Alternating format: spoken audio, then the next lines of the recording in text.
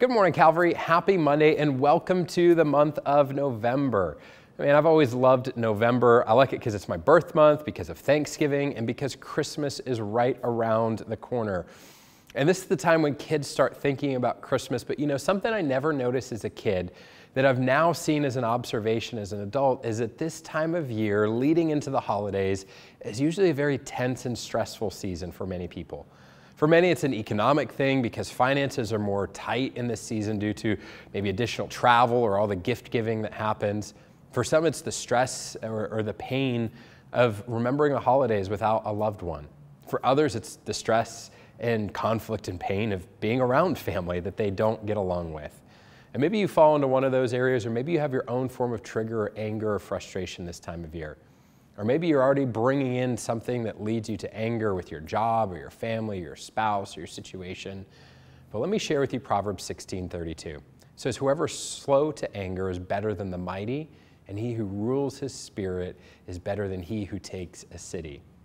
What we're being told here is that there's power in self control and self discipline for our emotions, especially our emotion of anger.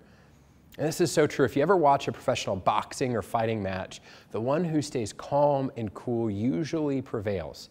In sports, the player who is mad and angry makes mistakes and his performance suffers. In our own life, when we allow ourselves to be angry, we make mistakes, we say things we shouldn't, and we hurt people with our actions. This is why Proverbs tells us this, and also why the book of James tells us to be slow to anger and slow to speak, because the anger of man does not produce the righteousness of God. See, what's ever causing you to be stressed and angry today, let me encourage you to think on this verse, not to dismiss the difficulty you're facing, and not to encourage you to emotionally shove those things aside, but to process them in a healthy way, in a productive way, and not to rush towards anger. Because if you follow the guidance of God, you will find strength and power in your ability to control your emotions more than you will if you allow yourself to become angry. So remember that he who controls his anger is more powerful than the mighty. So let me encourage you today to have a great and calm day, Calvary. We'll see you next time.